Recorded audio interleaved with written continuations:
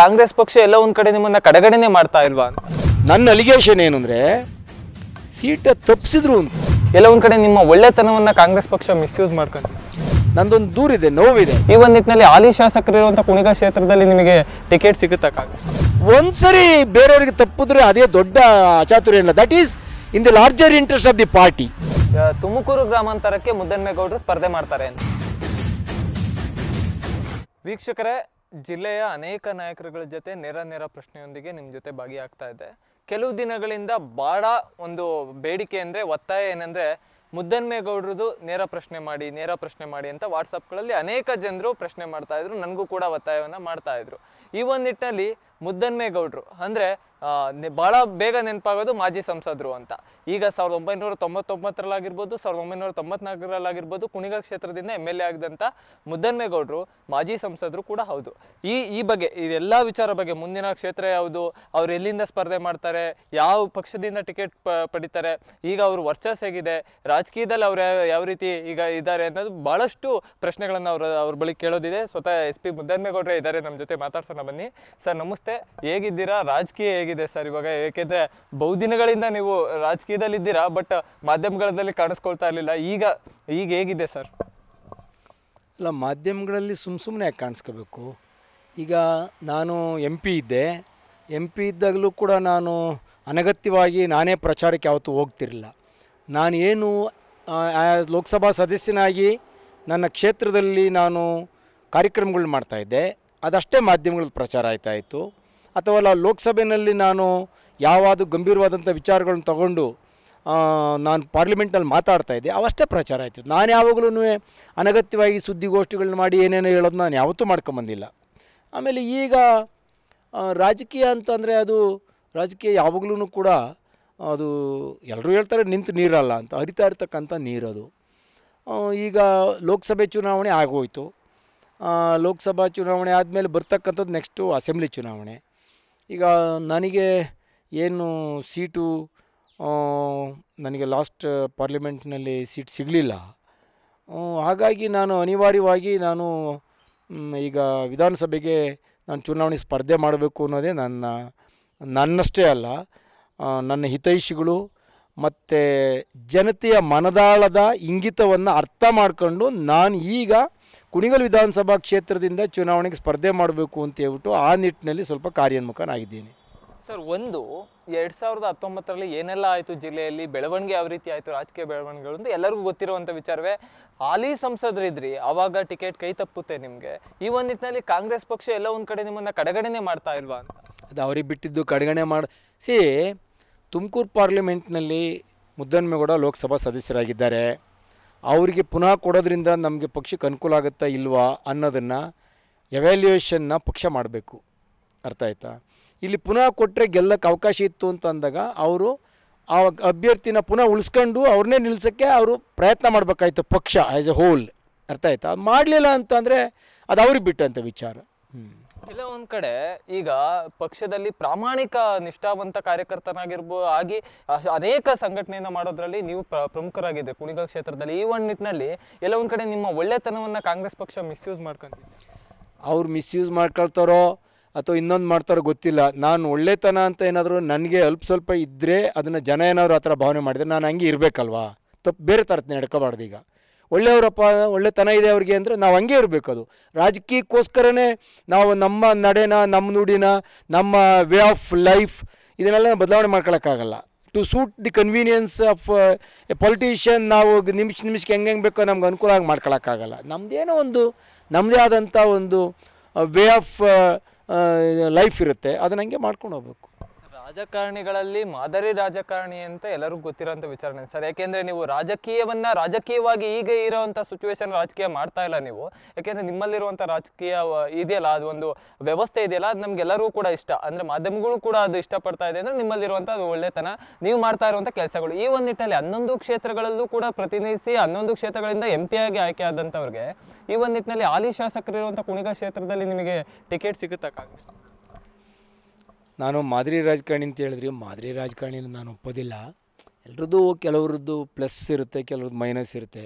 Merits and demerits ಎಲ್ಲ ಪಾಲಿಟಿಷಿಯನ್ಸ್ನಲ್ಲೂ ಇರ್ತದೆ. ನನ್ನಲ್ಲಿರ್ತಕ್ಕಂಥ ಒಳ್ಳೆಯದು ಬೇರೆಯವ್ರಿಗೆ ಕೆಟ್ಟದಾಗ ಕಾಣಿಸ್ಬೋದು. ಬೇರೆಯವರು ಕೆಟ್ಟದು ಅಂತ ಭಾವನೆ ಮಾಡಿರೋದು ನಾನು ಒಳ್ಳೆಯದು ಅಂತ ತಿಳ್ಕೊಂಡಿರ್ಬೋದು, ಇದು ಇರ್ತದೆ.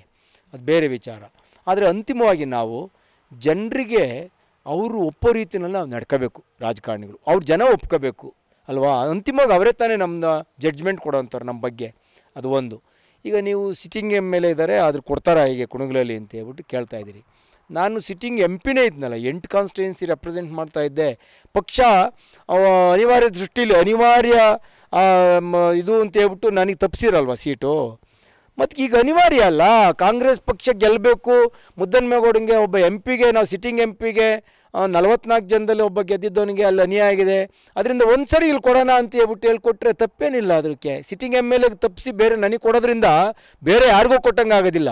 ಒಬ್ಬ ಸಿಟ್ಟಿಂಗ್ ಎಂ ಪಿಗೆ ಅಂತ ತಪ್ಪಿಸಿ ಅನ್ಯಾಯ ಆಗಿದ್ದಂಥವನಿಗೆ ಒಂದು ರೀತಿನಲ್ಲಿ ಒಂದು ಹಂತದಲ್ಲಿ ನ್ಯಾಯ ಕೊಡ್ತಕ್ಕಂಥ ಕೆಲಸನ ಮಾಡಿದ್ರೆ ಏನು ತಪ್ಪಿಲ್ಲ? ನನಗೆ ನನಗೆಲ್ಲ ಟೈಮ್ ಅಂಡ್ ಡೇಗೆ ನಾನು ಹೇಳಿದ್ದೀನಿ.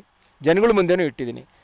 ನಾನು ಈ ಪೊಲಿಟಿಕಲ್ ನಾನು ಈ ನನ್ನ ರಾಜಕೀಯದ ಇದರಲ್ಲಿ ಕೆರಿಯರ್ನಲ್ಲಿ ಐದು ಸಾರಿ ನಾನು ನಿಲ್ಲಬೇಕಾದಂಥ ಚುನಾವಣೆಗೆ ನಿಲ್ಲತಕ್ಕಂಥ ಅವಕಾಶ ಇದ್ದಾಗ ನನಗೆ ಡಿನೇ ಆಗಿದೆ ಅವಕಾಶಗಳು, ಅಲ್ವಾ?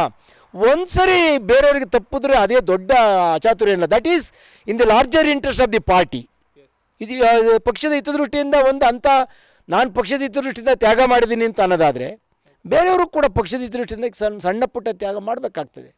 ಸರ್, ಒಂದು ಎರಡ್ ಸಾವಿರದ ಇಪ್ಪತ್ತ್ ಮೂರಕ್ಕೆ ಕಾಂಗ್ರೆಸ್ ಪಕ್ಷ ನಿಮ್ಗೆ ಟಿಕೆಟ್ ಕೊಡ್ಲಿಲ್ಲ ಅಂದ್ರೆ ಕುಣಿಗಲಲ್ಲಿ ನಿಮ್ಮ ನಿಲುವೇನು ಎರಡು ಸಾವಿರದ ಇಪ್ಪತ್ತ್ಮೂರಕ್ಕಲ್ವಾ ಅವಾಗ ಏನು ಒಂದು ಏನು ಅಂತ ನಾನು ಹೇಳ್ತೀನಿ ಅವಾಗ. ಇವಾಗ it is too early because ನಾನೀಗ ಆಗಲೇ ಸ್ಪಷ್ಟಪಡಿಸಿದ್ದೀನಿ, ನಾನು ಇವತ್ತೇನು ಕುಣಿಗಲ್ ವಿಧಾನಸಭಾ ಕ್ಷೇತ್ರದಲ್ಲಿ ನಾನು ಚುನಾವಣೆಗೆ ನಿಲ್ಲಬೇಕು ಅಂತ ಅನ್ನೋ ಒಂದು ನಾನು ಇಂಗಿತವನ್ನು ಇಟ್ಕೊಂಡು ನಾನೇನು ಓಡಾಡ್ತಾ ಇದ್ದೀನಿ ನಾನು ಕಾಂಗ್ರೆಸ್ ಪಕ್ಷದಿಂದ ನಾನು ಅಭ್ಯರ್ಥಿ ಆಗ್ತೀನಿ ಅಂತಲೇ ಹೇಳಿರೋದು ನಾನು. ನಾನು ಸ್ಪಷ್ಟ ನಿಲ್ಲುವ ಅದರಲ್ಲಿ absolutely there is no hidden agenda there okay ಈಗ ಎರಡು ಸಾವಿರದ ಇಪ್ಪತ್ತ್ಮೂರಕ್ಕೆ ಕೊಡ್ತಾರಾ ಇಲ್ವಾ ಅಂತ ಅನ್ನೋದನ್ನ ಅವತ್ತು ನಾನು ಹೇಳ್ಬೋದು. ಏನು ಮಾಡ್ತೀನಿ ಏನು ಹೇಗೆ ಅಂತ. ಇವತ್ತು ಎರಡ್ ಸಾವಿರದ ಇಪ್ಪತ್ತ್ ಮೂರಕ್ಕೆ ನಾನು ಏನ್ ಮಾಡ್ತೀನಿ ಅವಾಗ ನಾನು ಡಿಸಿಷನ್ ತಾಂತೀನಿ ಅನ್ನೋದಕ್ಕಿಂತ ಕುಣಿಗಲ್ ಕ್ಷೇತ್ರದ ಜನಕ್ಕೆ ಅಲ್ಲಿ ನಾವು ಸಂದೇಶ ಬೇರೆ ತರ ಹೋಗೋದು ಬೇಡ. ಅಂದ್ರೆ ಯಾಕೆಂದ್ರೆ ಈಗ ಹಾಲಿ ಶಾಸಕರಿದ್ದಾರೆ ಕಾಂಗ್ರೆಸ್ ಇಂದ ಅವರು ಕೂಡ ಹೋಗಿ ಸಂಘಟನೆಯನ್ನ ಮಾಡ್ತಾರೆ ಅವರು ಕೂಡ ಕಾರ್ಯಕರ್ತರ ಜೊತೆ ಹೋಗ್ತಾರೆ. ನೀವು ಕೂಡ ಹೋಗಿ ನಾನು ಕಾಂಗ್ರೆಸ್ ಪಕ್ಷದಿಂದ ನಿಲ್ತೀನಿ ಅದೆಲ್ಲ ಒಂದ್ ಕಡೆ ಜನಗಳಿಗೆ ಅದು ತಪ್ಪು ದಾರಿಗೆ ಏನು ತಪ್ಪೇನಾಗಲ್ಲ. ನಾನು ಇವತ್ತಲ್ಲ ಕಾಂಗ್ರೆಸ್ನಲ್ಲಿ ನಿಲ್ತೀನಿ ಕಾಂಗ್ರೆಸ್ನನು ಅಂತ ಹೇಳ್ಕೊಳ್ತಾ ಇರೋದು. ಮೂವತ್ತ್ಮೂರು ವರ್ಷದಿಂದಲೂ ಕೂಡ ಕುಣಿಗಲ್ ವಿಧಾನಸಭಾ ಕ್ಷೇತ್ರದಲ್ಲಿ ನಾವು ಕಾಂಗ್ರೆಸ್ ಪಕ್ಷದಲ್ಲಿ ಇದ್ಕೊಂಡು ಕೆಲಸ ಕೆಲಸ, ಚುನಾವಣೆ ಗೆದ್ದು, ಚುನಾವಣೆ ಸೋತು ಪ, ಜಿಲ್ಲಾ ಕಾಂಗ್ರೆಸ್ ಅಧ್ಯಕ್ಷನಾಗಿ ಹತ್ತು ವರ್ಷಗಳ ಕಾಲ ಅದನ್ನೇ ಮಾಡಿದ್ದೀವಿ. ಪಕ್ಷದ ಕೆಲಸನೇ ಮಾಡಿದ್ದೀವಿ. ಹತ್ತು ವರ್ಷ ಜಿಲ್ಲಾ ಕಾಂಗ್ರೆಸ್ ಅಧ್ಯಕ್ಷ ಆಗಿ ಅದೇನು ಅಧಿಕಾರನ ಏನು ಕಾರ್ ಕೊಟ್ಟಿದ್ರಪ್ಪ ಓಡಾಡ್ಕೊಂಡು ಕಾಲ ಕಳೆದ್ಬಿಟ್ಟ ನನಗೆಲ್ಲ ಅದು ಒಂದು ಜವಾಬ್ದಾರಿ ಅಂತ ತಿಳ್ಕೊಂಡು ಇಡೀ ಜಿಲ್ಲೆನಲ್ಲಿ ಕುಣಿಗಲ್ ಕುಣಿಗಲ್ ವಿಧಾನಸಭಾ ಕ್ಷೇತ್ರ ಸೇರಿದಂಗೆ ಅವತ್ತು ಹದಿಮೂರು ವಿಧಾನಸಭಾ ಕ್ಷೇತ್ರ ಇತ್ತು. ಹದಿಮೂರು ವಿಧಾನಸಭಾ ಕ್ಷೇತ್ರದಲ್ಲೂ ಪಕ್ಷ ಸಂಘಟನೆ ಮಾಡ್ತಕ್ಕಂಥ ಕೆಲಸವನ್ನೇ ಮಾಡಿದ್ದೀನಿ ನಾನು. ಅರ್ಥ ಆಯ್ತಾ? ಹಾಗಾಗಿ ನಾನು ಪಕ್ಷದ ಕೆಲಸ ಮಾಡಿದ್ರೆ ಇನ್ನೊಬ್ಬರು ಪಕ್ಷದ ಕೆಲಸ ಮಾಡಿದ್ರೆ ಅಥವಾ ಇನ್ನೂ ಒಬ್ಬರು ಪಕ್ಷದ ಕೆಲಸ ಮಾಡಿದ್ರೆ ತಪ್ಪೇನಿಲ್ಲ ಅದರಲ್ಲಿ. ಪಕ್ಷ ಇನ್ನೂ ಬಲಿಷ್ಠವಾಗಿ ಬೆಳೀತದೆ.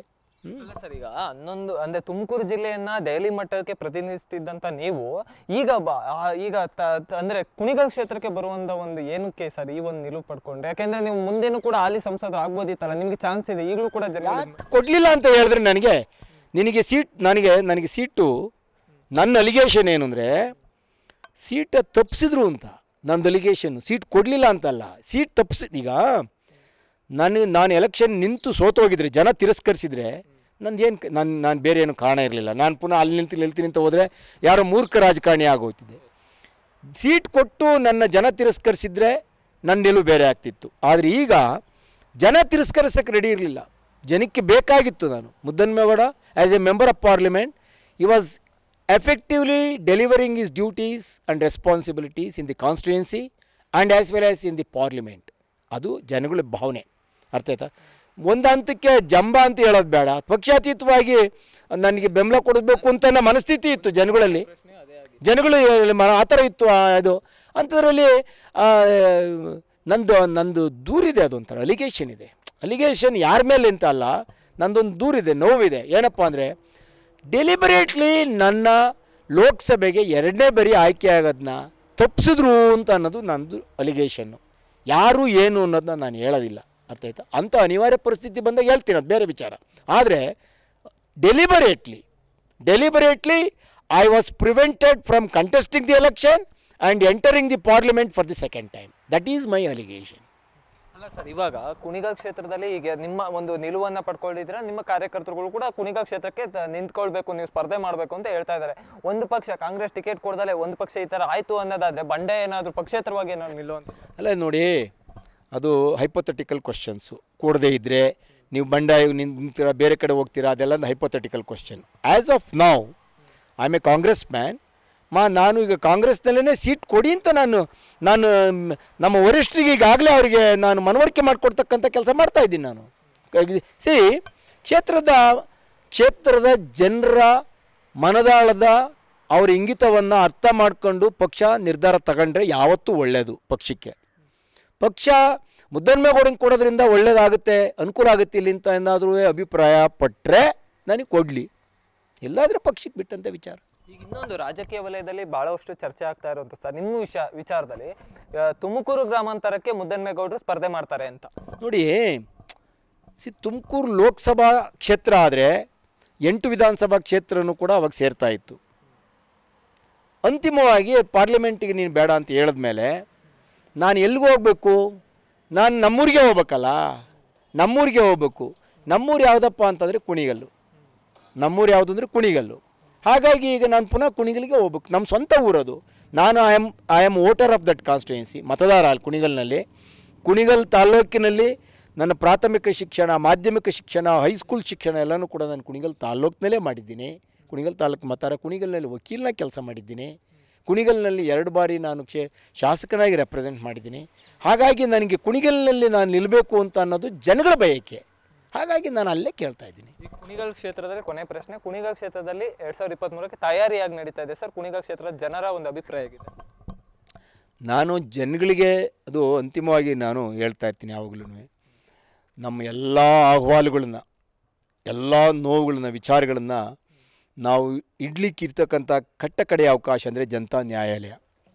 ಜನತಾ ನ್ಯಾಯಾಲಯದ ಮುಂದೆ ಇವತ್ತು ನನ್ನ ಆರ್ಗ್ಯುಮೆಂಟ್ ಏನಿದೆ, ನನ್ನ ಮುಖದ ನನ್ನ ಕೇಸ್ ಏನಿದೆ, ಅದನ್ನು ನಾನು ಪ್ರತಿಪಾದನೆ ಮಾಡ್ತಾ ಇದ್ದೀನಿ. ಈ ರೀತಿ ಇದೆ ಈ ರೀತಿ ಇದೆ ಅಂತ. ನನಗೆ ವಿಶ್ವಾಸ ಇದೆ, ಅದನ್ನು ನನಗೆ ಅದನ್ನು ಒಪ್ಕೊಂಡು ಜನ ಖಂಡಿತವಾಗಲೂ ಕೂಡ ತೀರ್ಪನ್ನು ನನ್ನ ಪರವಾಗಿ ಕೊಡ್ತಾರೆ ಅಂತ ನನ್ನ ನಂಬಿಕೆ ಇದೆ, ವಿಶ್ವಾಸ ಇದೆ. ಅಂತಿಮವಾಗಿ ಅದರ ಜನರ ತೀರ್ಪು ನಾನು ಅದನ್ನೇ ಅದ್ರ ಮೇಲೇ ನಾನು ಅವಲಂಬಿತ ಆಗಿದ್ದೀನಿ ವೀಕ್ಷಕರೇ, ಇದು ಎಸ್ ಪಿ ಮುದ್ದನ್ಮೇಗೌಡರ ಒಂದು ಮಾತಾಗಿತ್ತು. ನಾನು ಕುಣಿಗಾ ಕ್ಷೇತ್ರಕ್ಕೆ ಸ್ಪರ್ಧೆ ಮಾಡ್ತೇನೆ. ಟಿಕೆಟ್ ಕೊಡಬೇಕಾದಂಥ ಧರ್ಮ ಕಾಂಗ್ರೆಸ್ ಪಕ್ಷಕ್ಕೆ ಬಿಟ್ಟಿದ್ದು ಅನ್ನೋ ಅವ್ರ ಮಾತಾಗಿತ್ತು. ಕ್ಯಾಮ್ರಾ ಪರ್ಸನ್ ನಂಜನ್ ಜೊತೆ ಗಜೇಂದ್ರ ಅಮೋಕ್ ಟಿವಿ ತುಮಕೂರು.